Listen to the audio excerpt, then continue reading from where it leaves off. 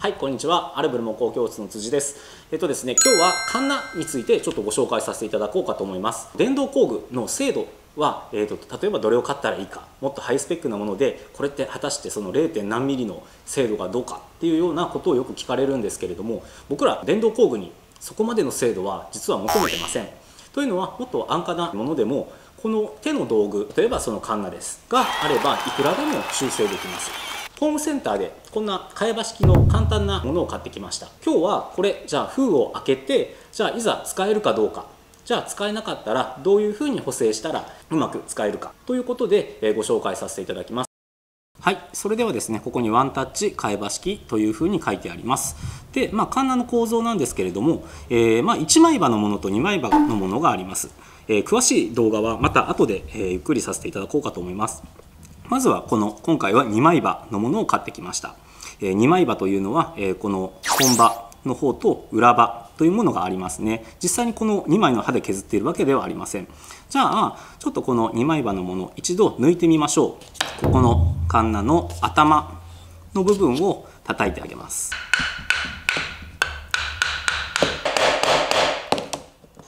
はい。ではこういう形で抜けました。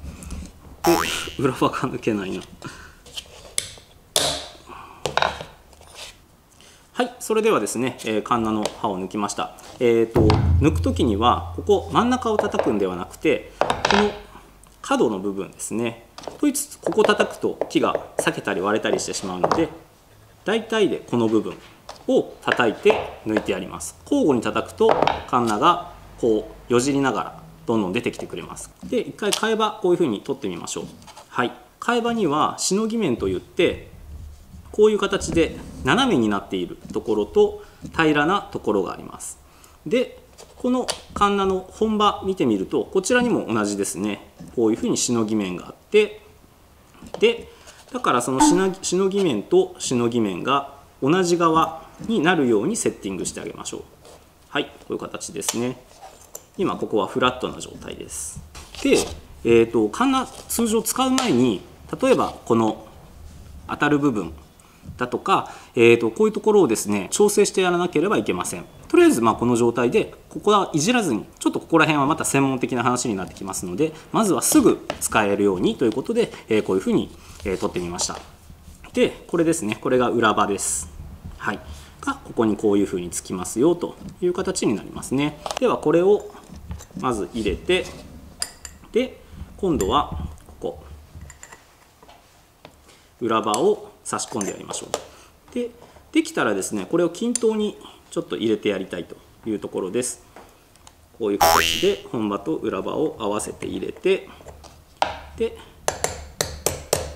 でこういう形である程度、まあ、しっかり食いつく形になったら、えー、もうこういうふうに離れないぐらいまで入ったらですね今度はちょっとこういうふうに手に持ってやります。あんまりこういうふうに下に置いて叩くことはありません。ちょっと見やすいように私こうさせていただいたんですけれども。はい。じゃあちょっと向きを変えます。ある程度もうこうやってひっくり返してもあの落ちたりしませんね。この状態になったらこういうふうに見てあげます。はい。でカンナの本刃を肩を叩いて入れてで今度こちら裏刃の方もまた差し込んで。一気に入れようとせずにあの本刃を入れて裏刃が追いかけてという形でいきましょう。でその時にもここ硬い金属ですけどここ叩くと割れてしまう時があります。ですのでこの肩を叩いて少しずつ入れてやると。はい。じゃあどれぐらい出せばいいのと言ったらこう覗いた時に髪の毛1本分ぐらいですね。髪の毛1本分ぐらい。が出てるのが理想ですね。初めのうちはちょっといっぱい出したくなるし、まあ、その髪の毛1本っていうのがわからないような感じになるんですけれどもここら辺は慣れです。えっ、ー、と触ってみる方が初めはいいかもしれません。こう一気にガッと触るとちょっと切れてしまうので軽くこう触った時に自分の指の感覚が少し何かそのカミソリみたいなものに引っかかるぐらい初めはそのそっちの方が分かりやすいかと思います。でその時にこう必ず刃に対してこうまっすぐ手を当ててください。こっち方向に手を動かすと手が切れます。ですのでこう合わせてちょっと触ってやると、まあ、男性の方はそのひげ剃りみたいなだいたいあれぐらいの感覚かなというところですね。今度は裏刃を詰めていきます。で裏刃の方もできるだけ詰めてあげてください。ただこの下の本刃を超えてしまうと刃を傷つけてしまいます。ですのでこの刃こちらの、え、本刃の裏側とこちらの隙間ですねがこういう形で覗いてあげた時にまあえーと、できるだけ、えー、これもですね髪の毛数本分、あのー、短い方がえーと、小さな隙間の方がいいんですけれども初めのうち、まあ、その飛び出す可能性があるので1 m m に満たないぐらい 0. 何ミリとかそれぐらいまで詰めていってあげてください。はい、でこういうふうにもう一回チェックします。そうすると裏刃を叩いたことによってもう一回ちょっとこういうところがガタガタしていますね。今こういうふうにカンナを見た時にこちらの方が出っ張っています。カンナの刃がこうなってるということですね。こういうふうに出過ぎています。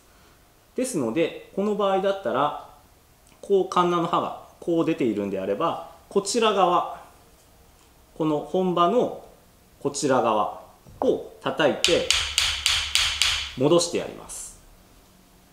はい。で平行に出るように。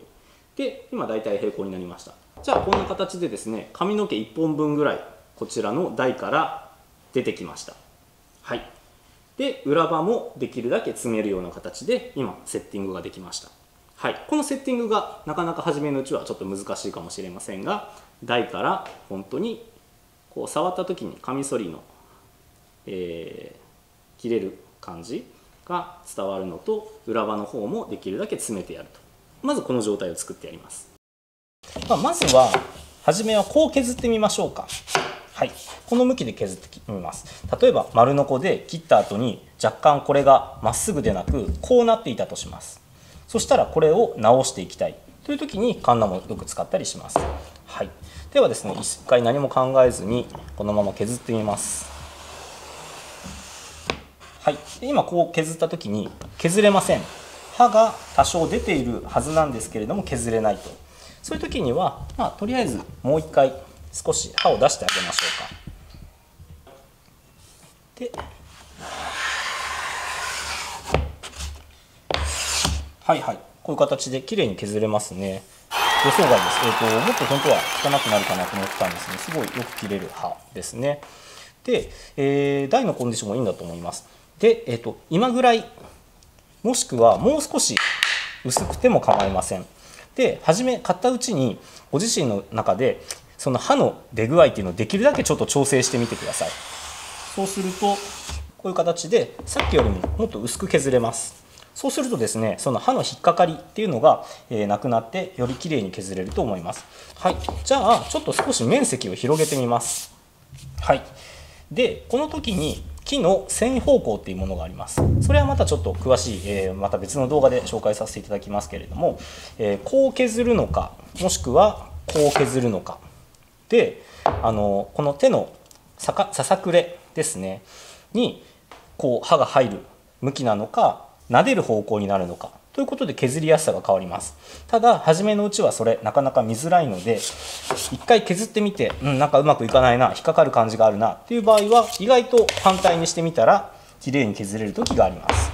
じゃあ今はこの木目で、えー、読んでやっていきましょう、えー、この場合だったらこっちからこうですね。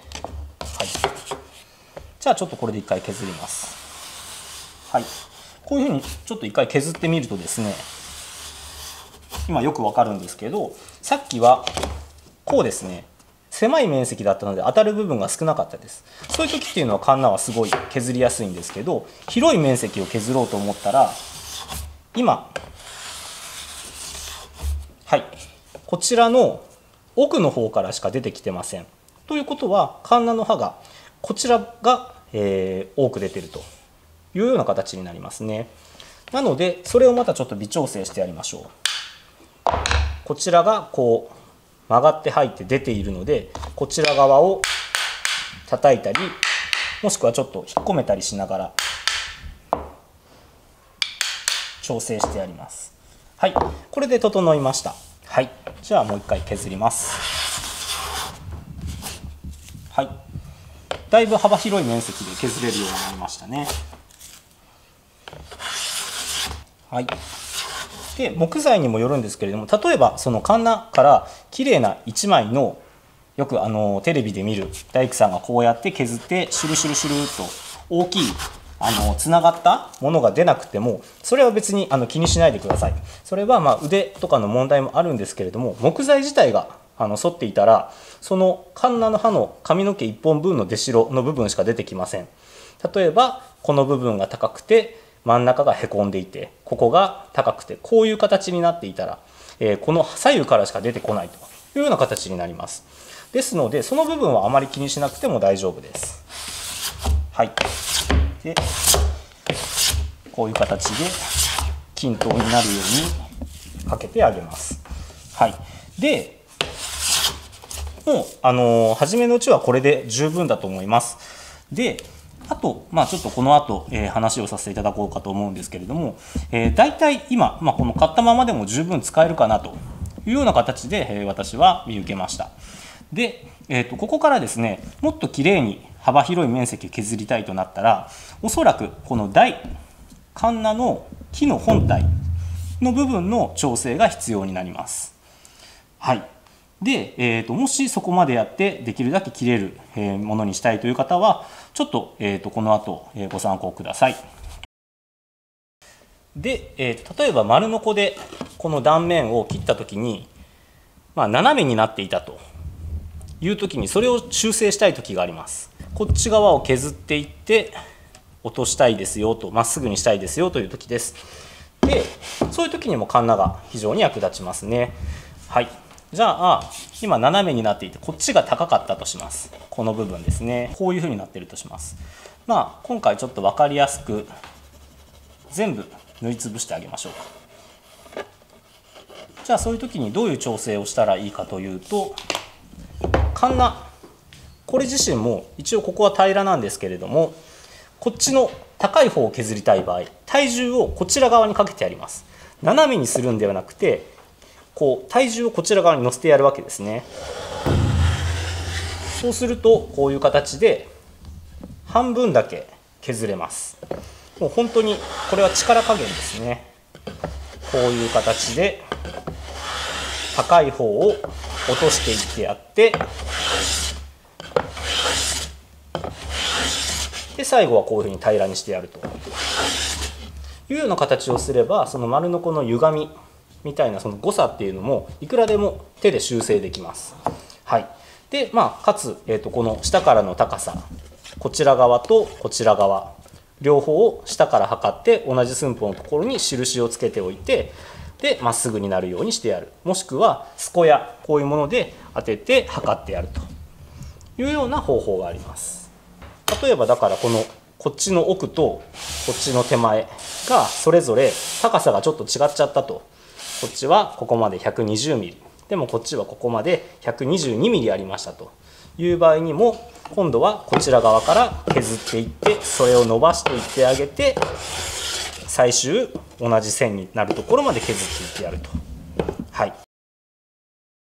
それではですね、はじめ、この封を開けた状態のままでも使えることが分かりました。すごい使いやすかったです。えっ、と、ま、より幅広い面積を削りたいとか、もしくは、これ皆さんよくあると思うんですけれども、あの、外に置いといたら削れなくなる。急に昨日削れたのに今日はなんでこんなに削れないんだろう。だからいっぱい刃を出す。そうするとガリガリっと引っ張あの引っかかってなかなか削れない。そういうことがカンナを買ったばかりの頃っていうのはよくあります。はい。それは何が原因かというと、こちらの台ですね。こちらが日本のカンナっていうのは使う人それぞれで調整できるようにもしくはその日本のその気候に合ったように自分で、え、メンテナンスをしながら使ってくださいねというふうな形になってます。これが西洋カンナとは違うところです。で、えー、とこの時、え、まず買った状態のままでちょっと一度ここがどんな状態かっていうのを見てあげようかと思います。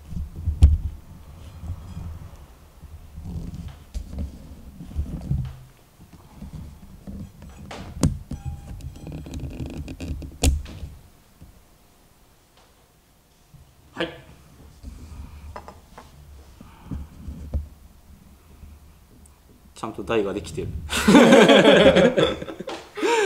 素晴らしいですね。えっ、ー、とこれ僕まっすぐにな状態で、えーと、購入時からなってるのかなと思ってたらちゃんとあのカンナの台がですねしっかりこうあのー、調整されてます、えーと、その調整の仕方をやろうと思ったんですけどここまで綺麗にちゃんとできているとあんまりやる意味が なくなりますね、えー、さあじゃあどうしましょうかね。どうしようかな。絶対そんなはずはないと思ってやってたのに。えっとえーとですのでこれはちょっと不覚だったんですけれどもいやもう本当にメーカーさんすごいですねこれ。あのすぐに使える状態で置いてある。素晴らしいことです。あのですのでカンナのこの台の調整をやろうと思ったんですけどえーと、今簡単にそれを全部お伝えできるわけじゃないのでそれをまたちょっとシリーズ化しようかと思います。でもう今あのチャイムが鳴って踏んだり蹴ったりなんですけど あのえっ、ー、とですねなので今日はこのカンナすごいいいですよっていう説明です。すいません。えっ、ー、とこれは港南で買ったのかな？港南で2800円ぐらい。はい。で、えー、まあちょっとカンナのその刃の出し方とかまあここの、えー、刃の出具合この調整の仕方っていうのを、えー、まあちょっと今日は参考にしてもらえればなというふうに思います。光がどこから漏れてるかっていうのがよくわかります。歯口の部分この部分とこの大尻の部分の2点設置